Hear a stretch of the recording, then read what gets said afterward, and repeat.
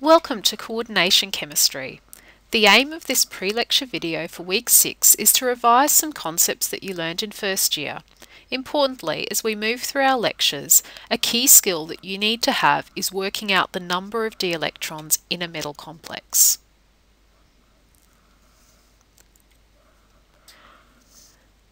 But first of all, Let's recall that coordination chemistry is concerned with the transition elements, which have incomplete d subshells in either their neutral atom or ions.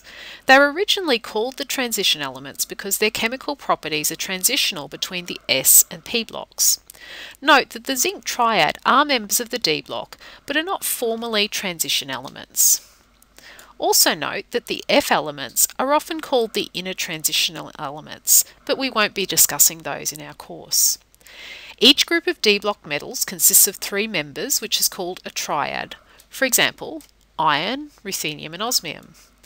The second and third row are the heavier D-block elements, and ruthenium, osmium, rhodium, iridium, palladium and platinum are collectively called the platinum group metals. Let's spend some time talking about the basics of electron configurations of the D metals. Remember that the alkali group metals, potassium and calcium, these are elements 19 and 20, precede the 3D transition elements which start at scandium, element 21. The diagram on the left shows the relative energies of the sublevels in neutral many electron atoms in the gas phase. Here we can see that these relative energies increase with the principal quantum number n.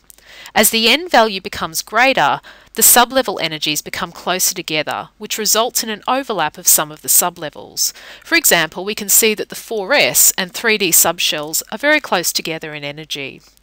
In transition metal cations, these levels swap around due to their close energies, and the 4s subshell is actually raised slightly above the 3d level.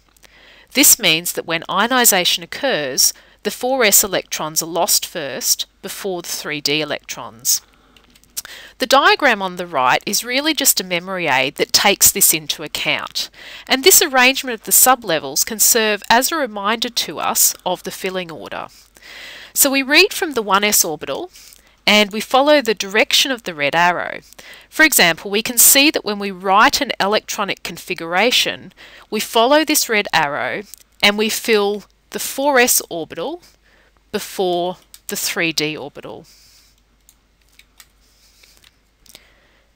Here's a full table of all the configurations that are written out. You can see that the 3d orbitals are filled to give a sequence of 10 elements, the d block. There's no need to memorise this though, as there's a much easier way to work out the number of d electrons for a transition metal ion. So we can use a quick method to determine the number of d electrons in a metal ion. And this is simply the group number minus the oxidation state of the metal. So for example, if we're asked to work out the number of d electrons for manganese 2+, plus, we know that manganese is in group 7, the oxidation state is plus 2, so in other words there are 5 d electrons. So these are the valence electrons that are located in the outermost shell of the ion, the valence shell. So first, let's recall the anatomy of a metal complex. A central metal atom or ion, which is a Lewis acid, in other words, it's a good electron pair acceptor, is bound to a number of neutral or anionic ligands. These are Lewis bases, that is, they're good electron pair donors. The coordination number of the metal centre is the number of donor atoms attached to the metal. Complexes can have between 2 and 10 donor atoms and sometimes more coordinated to the metal centre. But fortunately, the great majority have only 4 or 6 ligands and we'll be concentrating our attention on these. In most complexes, the ligands are at the corners of an octahedron in octahedral complexes, and these complexes can be neutral or charged.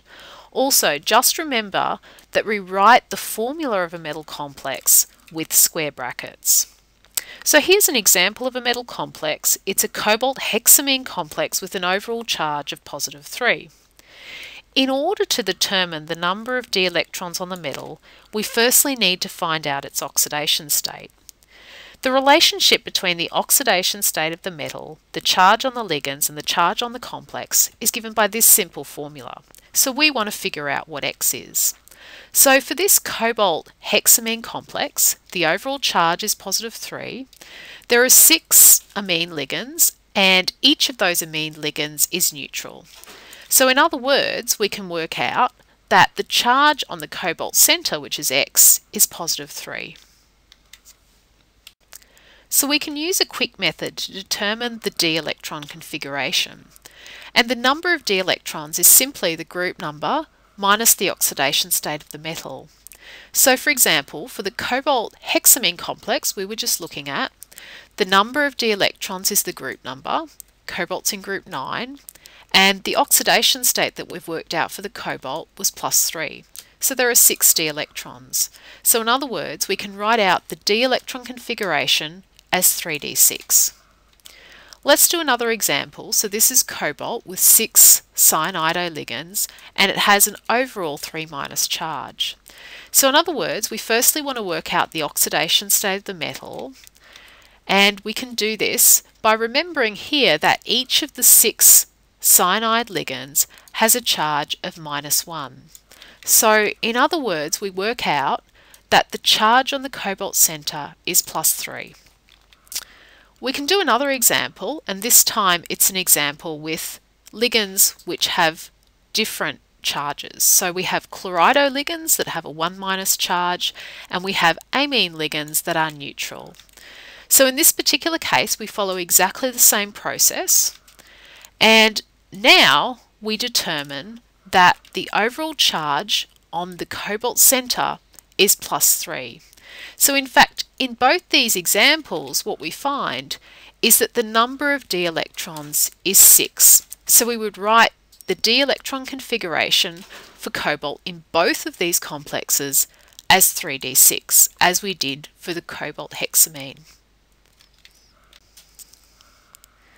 So the transition elements can exist in a number of redox states depending on the number of d electrons that they have, and we've just seen how to work out the number of d electrons.